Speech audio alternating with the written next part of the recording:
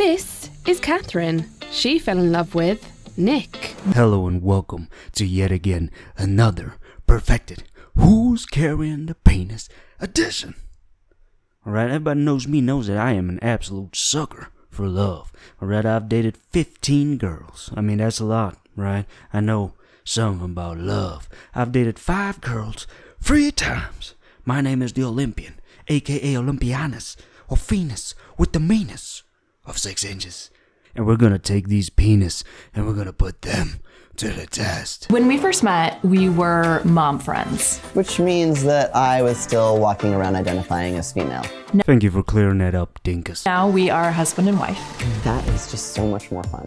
You know, there was definitely a period of adjustment. Things happened slowly, but also quickly. But now I really can't imagine Nick being anyone other than who he is. Whatever you say, Catherine. Nick. Can I call you Nick? Can I call you Nick? Alright, Nick. Right, you, I got much respect for you, boy. Let me tell you something, alright? Now, this actually reminds me of a nursery rhyme. It goes something like this Catherine and Nick sitting in a tree. K I S S I N G. Nick took his tongue, stuck it into the vagina, and then became a man. Congratulations to both of them. Wow! That's what you don't understand, alright? When you take a scholar, alright? You take a scholar to debate a gay man. First question a scholar was gonna ask is, Good morning. Why are you gay? right? And the gay man's gonna come out like, no, I always felt that way and stuff like that. And you know, I was, you know, I felt a little bit different. No, you haven't tasted vagina yet. You should try it. Lick it, lick it. You know, and that's why he's a scholar. Um, we say thank you, scholar. No problem. How you doing this morning? You know, not a lot of things pisses me off, but this shit right here got me messed up, man. This is unacceptable. All right, Nick, that's what I'm talking about. You're not ready to be a man. You you wouldn't understand what the word means. All right. Now, let me ask you a question, viewers. Hey, listen, have your father ever walked up to you, being a man himself, and you are a man? He comes up to you and asks, Good morning, how you doing? And then sniffs the shit out of you. Oh, you some bitch. Like, did that shit ever happen? Of course not. We're fucking men, right? We don't sniff each other's hair. That's some bullshit, man. Before I met Catherine, I was married to the nicest man around. He is top notch. We had four babies. We created a really wonderful life together, but it wasn't the right one. Nick and Catherine met at a conference where Catherine was a speaker, and despite living in different countries, quickly became firm friends, which later developed into more. When I first met Nick, he was, I thought, this straight woman, happily married. He was pregnant and had a baby in his arms. There was more to be revealed. My takeaway of this story of love, it's unbelievable, obviously, but my takeaway is that you stole Nick from his husband? He just gave you one sniff? That's all she wrote, man. You you gave him one sniff? That was all it took.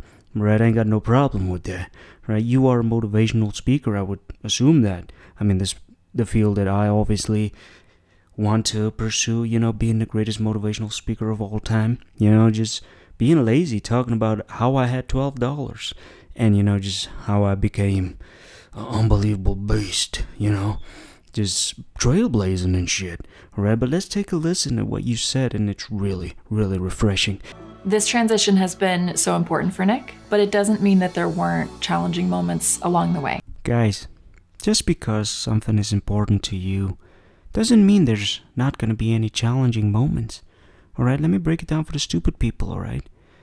When something is important to you, right, you know, of great importance, there's not always going to be challenging times. All right, everybody, 20 minutes until go time. Mr. Mayhem, you still are missing your socks. Where are they? Whoopsie daisy. Damn, this Mayhem got some balls. He knew that sniff was coming. He knew that sniff was coming, man. You could see Nick coming in already. Mayhem anticipated that sniff. He'll just be coming, where's your sock? Oh, you son of a bitch. But damn, man was two steps ahead, I tell you something, boy. what you doing just sniffing kids, man? Stop with that bullshit. It's not a second time. You know, I don't know. Remember that one? Okay. It's very hit or. It's gonna be like boiling hot summer later today. I know, but because our kids were a range of ages when I transitioned, the oldest being 10 at the time and the youngest being almost two, they have a different experience, each of them. Our youngest doesn't remember me as anything other than dad. And our oldest is like, remember when we used to call you mama? That was so strange. I can't even believe that. Always to the very back of the bus. Okay, another day. They're off. Mm-hmm. We did it. We win at parenting for another day. Mostly me. So, there you have it. Nick being the better parent, sniffing everything that comes his way. We put them to the test, and what do you know? Who has the penis? None. I'll make sure I'll leave the link in the description if you want to check out the full video on Truly, truly.org, truly.org. right? Now, Nick, obviously, you want to be a man. Let me tell you something. Let me give you advice, right? Advice from the Olympian, right? Leave no doubt, right? To be a man, right? It's tough. It's tough out here, man. There's a long way for you to go, right? And first thing is that you can't be a Karen anymore, right? You need to put that behind you, right? You got to move on. There's no Karens when you're talking about male. We're talking about the alphas. Some some few in the in the betas, you know. But it is what it is. But they they don't want to be Karens full blown, all right? You want to be a man, you got to do this 100%, right? You can't be walking up to the employees talking about, I need to speak to your manager. Manager come up, orale, man. You looking for me, man? You looking for me? You looking at me? Fuck you. And you trying to be like, no, no, just kidding. Like, I just, I just want to tell you, like, I don't think that I was treated like, fuck you, man. Fuck your feelings, man. Orale, man. You get your teeth knocked out. My name is the Olympian, aka Olympianus or Lymphinus, with the Venus, with the meanest of six inches. And we do what we always been done. Diddly. Dang boy. We go for gold. Leave no doubt. Oh, you, oh, you, oh, you good boy. Oh, you good boy. You good boy.